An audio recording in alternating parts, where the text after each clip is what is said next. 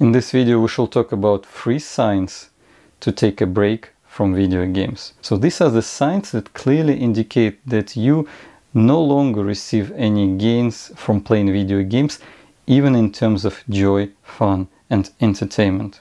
So there were moments in my gaming life when I played daily for many hours and then I gradually started to feel bored with playing my favorite character in my favorite video game and I thought, well, maybe I just got out from this character everything I could and I just should switch to another character and I switched to another character and then to another and another and I still got bored.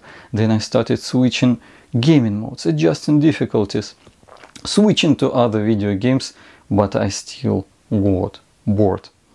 And uh, this is a clear indicator that actually you are full with uh, joy and fun, like you can be full with uh, eating food. So um, when you play video games too much, you just lose sensitivity to fun, joy, and, and entertainment. And uh, um, no matter how you try to diversify the gaming process, process it doesn't help at all. Uh, the next indicator uh, to make a break is numbness to your own emotions and feelings. It's when you play too much, you begin to feel this numbness, this indifference uh, to your own emotions and feelings. You begin to feel like a zombie, like you don't care about anything. It's when you go out, say, outside and you feel that uh, the real world is just somehow unrealistic. Who are these people? Oh, what are they doing here? I don't care about anything. You know, when I was a kid, I fancied vampires.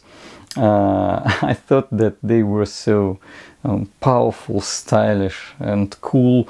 But uh, vampires always complained about one thing that they actually don't feel anything. And I always wondered, what do they mean by saying that they don't feel anything? Ah, that's not a big deal and you, you know like this uh, vampire in the vampire hunter d anime who lived like 10,000 years and who was always looking with this stone face but he was always bored and could not find a thing to do for him because he lived for so long and now i realized that actually it's uh, it's not great to be uh, a vampire if you can not enjoy uh, if you can even not enjoy your own power actually it sucks.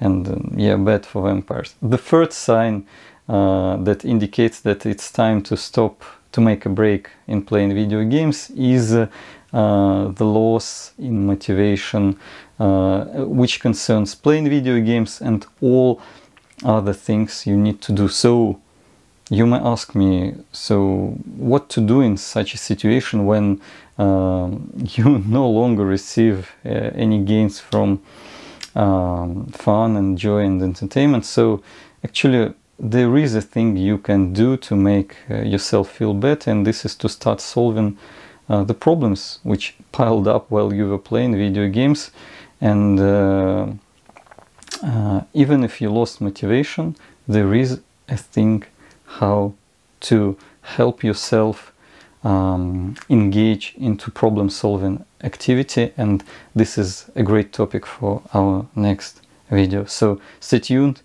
and see you soon